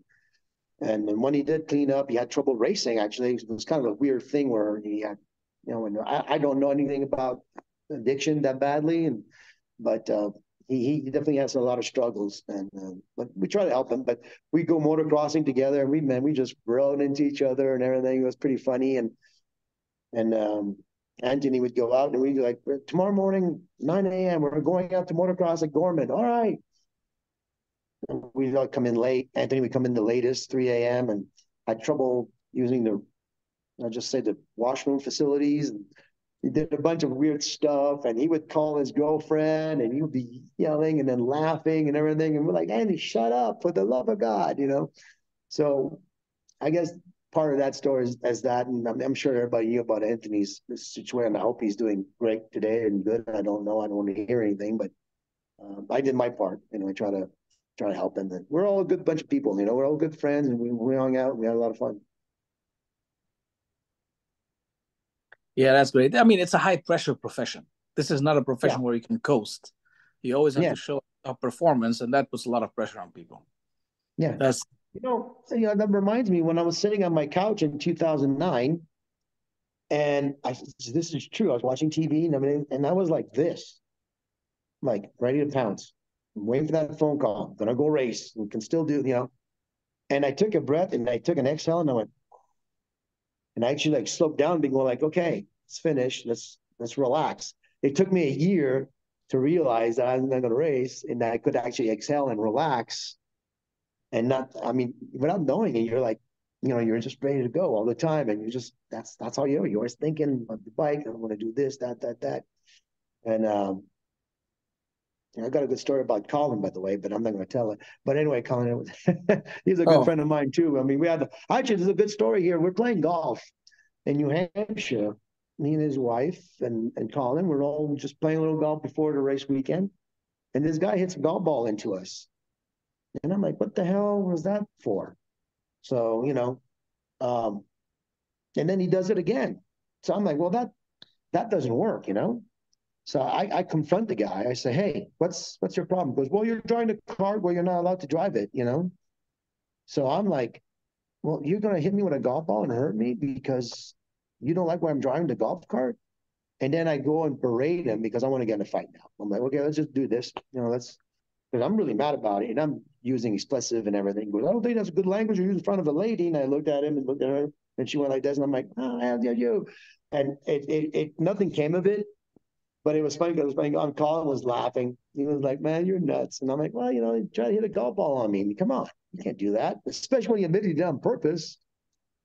So, you know, like I said, we all hang out. There's the, the guys that you see that you like are, are really good people. You know, they're they're just they're fun guys to be around.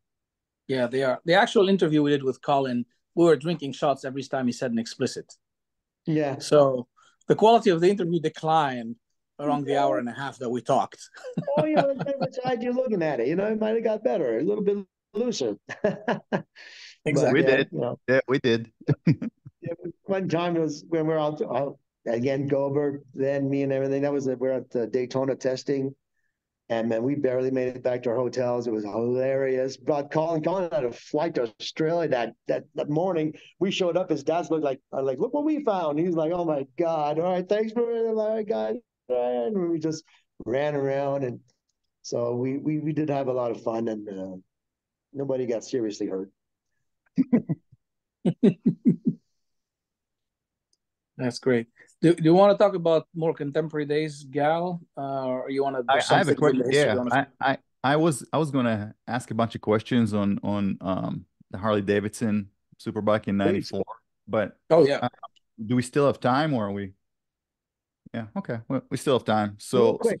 Let's get it real quick. All right, the Harley Davidson. Uh, how do you like racing that? You think Harley would ever go back and make another one? Uh, what did they learn from it? Well, I hope so. I think they learned a lot, and I'd like to. I'd love to see them try again. That'd be great. They're a great bunch of people. When I signed with them, I had a little bit of instant regret because they couldn't start the motorcycle. But uh, and we had all the problems that we had. There was, you know, but we went from that to, you know, Brainerd if I had a pit board and I would have known I was pulling away from the guys, I would have probably backed it down just a hair, you know, because I was really on right the ragged edge. That's why I rode off the track. But I went from 12th and then came back up to second place. And I got beaten by two guys you'd never hear from, Troy Corser and Jamie James. And they just I just did a little come out the chicane and they both stopped by me. And I was like, oh my God, how lucky is that?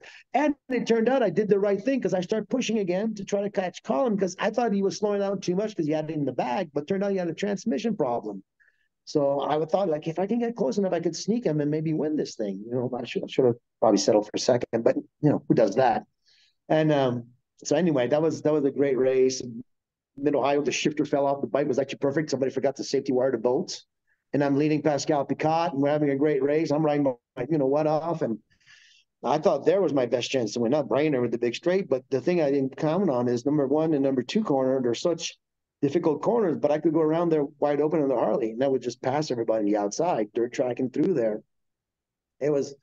I almost stayed with them. So there was always a part of me that wanted to stay there because the money was pretty close to Honda. But I was like, man, I don't know. Do I, if I sign again and they can't make this bike work on every weekend, I'm really gonna, you know, and there was only one class, whereas the Honda was two class, and and it turned out the bike they did a great job. I mean, Doug Chandler got on it, and Pascal Picotte, and they all had some good races. I love the chassis of that uh, the bike. I mean, I could brake deeper than anything. Well, mine because my bike was slow and heavy, but still, it, it handled great. I brake really deep. I mean, a good story stories we can ask Steve Scheibe. He's a good guy, great guy. We motocross together bit and everything. Hung out. He's a really good guy. Anyway, um, at Laguna Seca, I did some pretty good laps on that bike, the old bike. The next year, you people don't understand. You can ask Steve, and he'll tell you the bike was like 20 pounds lighter and 30 more horsepower. It was like unbelievable what they did in that off season. So at Laguna Seca, I'm out there riding, and you know, I said the time the year before '94, and '95 I think was Doug, and he goes around there and laps. And Doug Chandler is the king of Laguna Seca. He's so hard to beat there. Um, and he comes in the pits and he goes, "What time did Miguel do here last year?" And he goes, Steve shows him, and, and Doug Chandler goes, "Man, he really wanted it, didn't he?" and that's another compliment. That's like the John Kocinski thing. You know, you hear these things and like, oh my God, that's so that's a big compliment to me, you know. Anyway, so that that that's my Harley Davidson story. It was really cool. And and then you know the thing that hurts a little bit, you find out some people cheat, like in 600, they use the wrong magnesium wheels instead of using the steel the OEM wheels. And when you find that out, you're like, well, how come nobody at Dunlop spilled the beans? You know, anyway, but uh, and then you lose a championship. You don't lose just a race; you lose a championship. You're like, okay, but you know, it's not. Uh, it is. It is what it is. Those, those are the little things. The, the, the, other thing was was bigger. I think with Suzuki that that was bad for the sport. It was bad for everybody. And but uh, anyway, there you go. All right, MotoGP predictions. Um, I think. I mean, obviously, obviously, Mark's going to be a, the big part of it. Uh, if Mark can stop himself from being Mark as far as like trying to not just win but destroy everybody by 20 seconds, or maybe if the, he gets a really good setup, if he can just not race against his ghost and just raise the competition and make sure he gets more points than other, I think he's going to win it. Uh, but I think that uh, you know, all those guys over there right now, the, the, the current world champion and uh, Martinez, they're going to put up a great fight. It's going to be awesome. It's going to be some some serious good racing. Let's see what KTM comes up with too, also, and and Honda, Honda's not laying down. You know, they're stepping up their game. So it'd be ironic if they they, they got a bike uh, working for those guys, and they then they come back and then win. So and I'm just really I watch every one of them. I love it, and uh, looking forward to the new season. Same thing with Supercross, which is just down the road in Anaheim coming up. Did you pick up the phone and say, "Hey, Honda, I know what's wrong. Let me help you"? Or are you still collaborating with them? I'm not, I'm not gonna, you know, I'm not gonna brag too much. No, I'm going to. But when I was there, the bikes were pretty good. Uh, the 600 bike that they used, the, the before they had that 600 Honda, the, the stock bike for, well, that was from our Formula Extreme bike that was developed here in America. They did a lot of the, the a lot of the stuff we did here was testing. Everything racing is testing for something better, and so we did that. And the super bikes were pretty good at that time, and uh, I was a big part of that. So, you know, yeah, sure. I, I think it maybe. I don't know. You know, it's you only remember the good stuff. That's one thing I learned about 24 hour racing when I did 24 hours and I was the fastest guy and would win and I won some races and man, 20, getting up at 2 a.m. to go, you know, full throttle, freezing rain at Le Mans or Spa. You, you start saying to yourself, what am I doing here? You know? But if you take a but this is serious. If you take a year or two years off and they say, Miguel, you want to do it 24 hours? Go, yeah. Then you show up at the 24 hours and 2 a.m. rolls around again or 3 a.m. They wake you up from a sound sleep from 20 minutes you have from the other guy. And, you go out the darkness and you smell the oil everywhere. And I'm like, what am I doing here? So, uh, so my point to that story is you always remember the, that I do, always remember the good, the good things. So, be, you know, it's, it's, well, it's well, you still you still have the fire. Obviously, talking to you, you still have the fire, and and you you have the physical fitness as well, judging by your hundred mile rides that you post yeah. on Instagram. And I was like, is this guy crazy? I mean, you, you go you go Red Rock, you go Blue Diamond, you go back Summerlin, and and I was I was like hundred miles in like six hours. Come on. That's insane. Yeah, my I did my record this year, 152 miles, nine hours and 48 minutes sitting on the bicycle seat there. That was fun. I figured, what the hell, I want to. I always wanted to do a long one, so did it. Fun. Uh, okay, I got the last question because we're we're okay. really running over, uh, and that's a self-serving question. Uh, what's the best place to eat in Las Vegas? You know, in Summerlin, uh, if you like Italian, North Italia is a really good restaurant. Uh, Pasta alla vodka, fantastic. Uh, for steak, Echo and Rig, you got some really good steaks, a nice ambiance there too. Oh my God, we got uh, reservation for tonight. Yeah, good. And Santabello's, yeah. which is a chain restaurant, you got the Diavola pizza, but add extra prosciutto on the machine. They cut it to put it on the pizza. Fantastic pizza. Those, those are the spots. And Yard House, of course. Get a half yard beer and have the mac and cheese. It is very good. You'll see me there. Have you been to? Tonight we're uh, going to Torrey to go see the, the Christmas parade. So you know, taking the family if, there. If you like oh, Italian have you been to my mother's house in Sun City? No, I have not. Okay, Google, Google it. Is it's, that local it's this, business? It's a local business. It's this guy I that's I like went there. an old mobster that just stings all those Sinatra songs and and, and tells Sinatra yeah, stories and yeah, yeah. Yeah. we we went there. We had dinner there because uh, my girlfriend work and that seminars there. She work, you know, bounce around and does shows and stuff and uh, for for work. And we went there. Yeah, there was a guy singing everything is awesome. It's good stuff. Yeah, there's a, there's a lot to be discovered in Vegas. There's more than just gambling and stuff. You know, there's Red Rock, like you said, there's cycling, mountain riding, mountain biking is terrific out here too. So that's why I'm here. You know, I came here to save some money from taxes in Canada and fell in love with the place, and I'm still here today. Yeah, yeah. What was the restaurant you and I went to uh, when we had the track day? We went. We went to Echo and Rig. Okay, that's what I thought. Very good place. Yeah. Yep. We have reservations for tonight. So if you jump in the car and get here. That's right. yeah. Or just drive to Burbank and, and grab a plane, which is faster. yeah, Burbank. I lived there for a little while. It was fun. Yeah, there's no flights anywhere out of you. You can't go anywhere without connecting out of Burbank. Yes. I prefer Miami a lot more. You can go everywhere from there, but over here, very difficult. You have to go to LAX.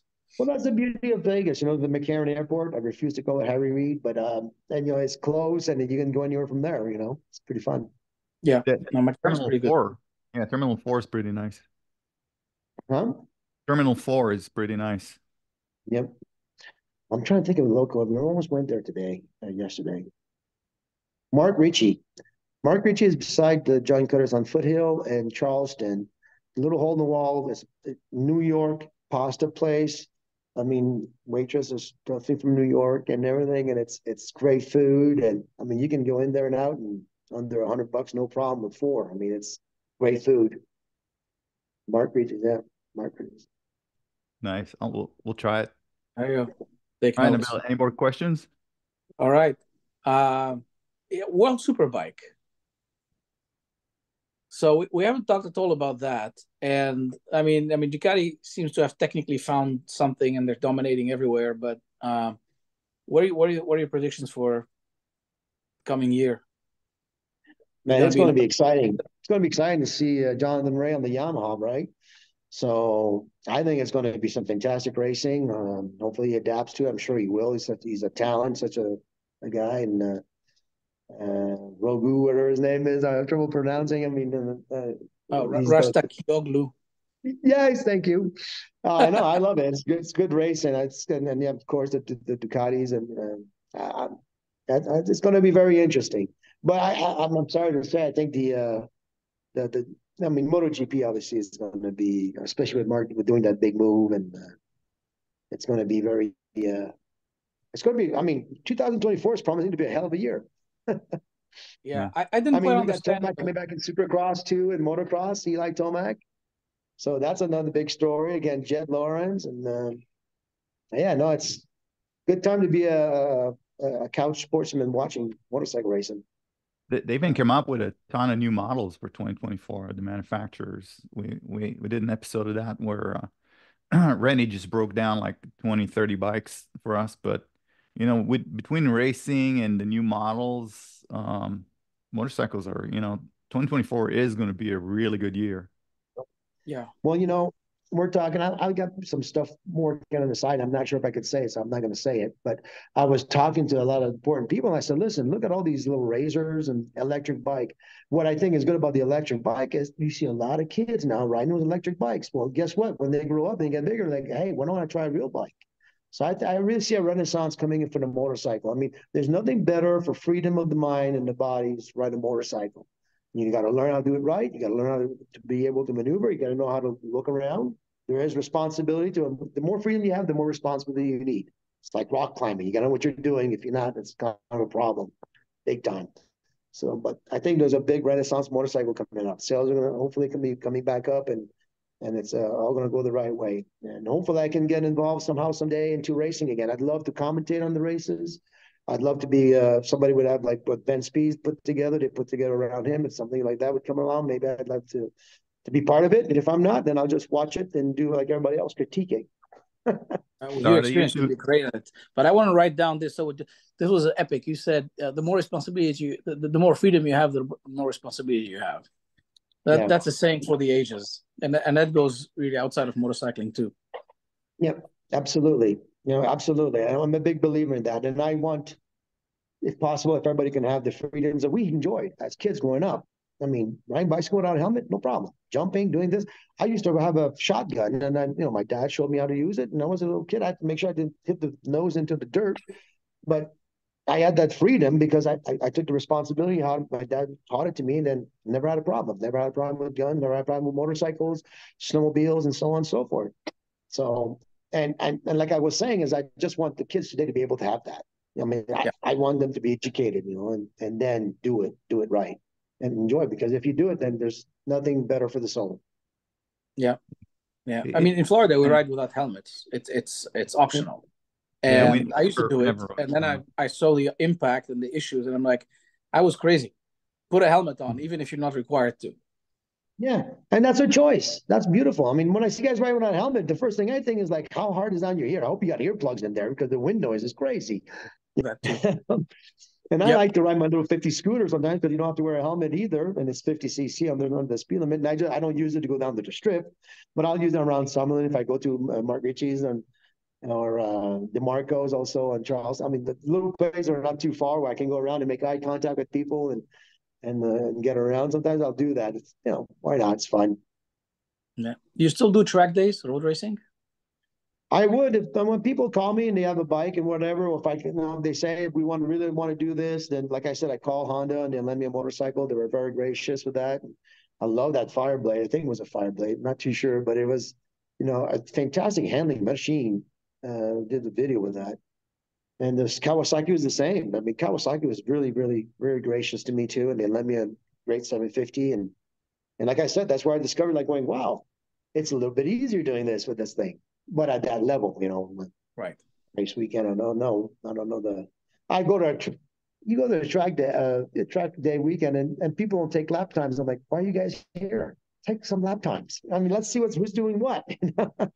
it's fun. You can uh, you can get the racer onto a track day, but you can't get the racing out of the track guy. So anyway, no, that was that was fun. I enjoyed it. No, but it's a good learning tool. I don't know how you. I mean, in business, we measure everything, right, to to be able to make it better. Otherwise, you don't know if it's better. So I don't know how you you apply something new that you've learned on a turn or or, or do something different. Then how do you know if it's better or not unless you're tracking your lap time? Yeah. I'm a big believer in performance. No, exactly, absolutely, and it's fun. You know, I mean, obviously, it can lead to you know crashes because you start pushing more. You want to be faster than your friend. I don't have that problem. That's their problem. But uh, I, you know, why not? Like you said, if you do a little bit of modification, and I mean, I, I there was a friend of mine, Jack Pfeiffer, still a friend of mine. At Daytona, I was watching him riding around in the 90s, early 90s, and I looked at his bike and I was like, man, what the?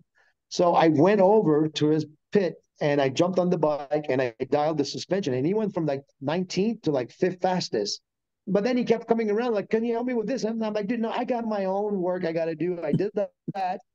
Good luck, you know, keep it going. And he actually finished fourth at the Daytona 200, the year that me, Ben, and Curtis, I think it was uh, us or was it Nicky? We got and Honda got the full podium, and Jack Pfeiffer got fourth on his own, like pure privateer. So that was a hell of an accomplishment for him. Unfortunately, it didn't lead to bigger, better things. I mean, he kept racing and did a lot of winning, you know, on the West Coast. And he's a good guy. But uh, yeah, that one day, like that, that's my point. I went over there and helped him, and he dropped like almost a second and a half a lap. So you got to you got to keep the lap times on. Yeah, I like to help. so, what, what would be your advice for track riders? Like in general, what to focus on, what to get better at?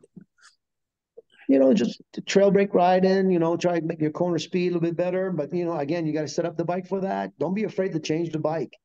Change the bike. If it's bad, so what? You missed a couple of laps or maybe a session, come back, change it back. Have fun with it. Why not do that? And once you hit something that you feel real comfortable, you're going fast and you're happy, then good. Then just keep pushing that. Put new tires on, get the tire warmers, try to maybe a little bit different line, try something. That's why if you do lap times, like you said, you could just try changing your line a little bit, apexing a little later or a little sooner or carry more speed or braking a little harder and see if you go faster, you know. And uh, I think it's just something that keeps you coming back. And I think that's that's the way to do it. Don't be afraid and if you're really good, yeah. and if you're really good and really fast, do not race on the streets. Get signed up, get a local license, do a local race, get your license, and have fun because it's just as much fun racing on the weekend that it is doing a track day. Yeah, hundred percent. Yeah. Terrific, Gal. Anything else? No, I think I think we got it. I think uh, well, you got it, and plus plus plus. Yeah. Plus plus plus. Well, and I was, I was going to say hours, but no, nobody has. You no, you don't have yeah. that one, fortunately. I, I was going to say, I was going to say, um, the the beauty of of today's technology is that everybody can um go on the internet and say what they want to say, and you obviously have a lot to say. So I suggest maybe you mm-hmm be be more active on YouTube. Maybe start a YouTube. I try. Channel. Well, I'm, you know, I like to do the podcast like you guys do, something like do my own commentating on the MotoGP because there's something sometimes there's some racing where I got to just like turn the volume down because it makes me want to have a brain explode, like you know, scanners in the movie. But uh, uh, and I think I could do a real good job, bring a lot of different perspective to it, a little bit of color commentating. But we'll see. Hopefully, the future is going to be brighter, and we can do some stuff like that, and just you know keep the sport going, keep getting bigger, better. You know, that could be an interesting idea if you broadcasted the race while talking over the comments. So mute the comments from the commentators and do your own commentary. Because I think that would be a lot more fun, a lot more interesting, and, and, and a lot more. Well, you can have commentator like the it should be a commentator race or debate. You know, you can listen to the TV one and have an, and the earphone on this one and go, oh, "Hey, he said this, he said that," and we kind of yeah. you know you can get a different perspective on it hey, I watch TV on my phone and I watch my TV. And I'm like multitasking here. Boom, boom, boom. so you should try that. That could be a lot of fun. Gal staff yeah. meeting. After we're done. Okay, staff meeting. Uh, thank you guys for listening. There was oh. another episode of Edge Grip Podcast, episode number 17.